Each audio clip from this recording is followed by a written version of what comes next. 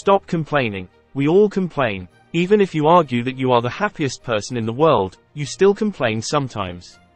You may be heard, some people complain about society, culture, jobs, restaurants, politics, weather, and even their own lives. Finding ways to reduce complaining can have a positive impact on your life and well-being. In addition to improving your relationships, it can also help you feel better about your life. Complaints work against you in three ways. First, no one wants to hear negative news about your illness and your problems. It's been said that 90% of the people don't care about your problems. And the other 10% are glad you have them.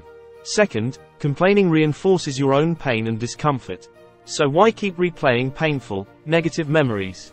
Third, complaining, by itself, accomplishes nothing and stops you to improve your situation and failing to take action.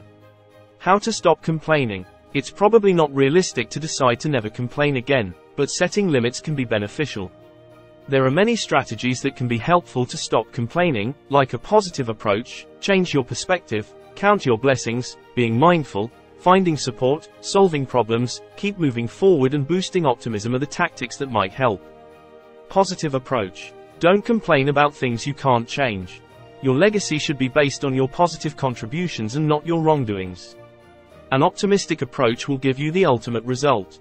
Your identity is visible through your positive attitude. Activate the good attitude through a growth mindset and deactivate the dejected thoughts. Negative thoughts give negative results. Positive thought creates positive results. Stop negativity and stop complaining. Be positive. Count your blessings. The secret of happiness is to count your blessings while others are adding up the troubles. Learn to adapt things. Think of the experience as an opportunity rather than an untenable obstacle. Recall, recreate and learn from your past mistakes. Keep learning something new. Change your perspective. Change the way you think. Everyone learns and understands differently. Be ready to accept different perspectives. Worries are a result of how we look at problems. Change your perspective to be happy. Listen to others, you will get new ideas, perspectives.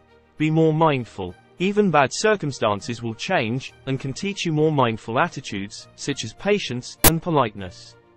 Be responsible. Own your mistakes, but never the mistakes of others. Be assertive. Be firm and express what you want clearly. Don't leave your meaning to guesswork. Be less judgmental. Assumptions can lead to judgment. So don't assume. I'm not suggesting that you just sit back and ignore all of the problems in your life. However, rather than complaining, it's far better to focus your attention and your energy on those steps you can take to solve. The time and effort you waste on complaining could be invested in fixing problems, finding solutions, and achieving results. Yes. Stop complaining. Thank you.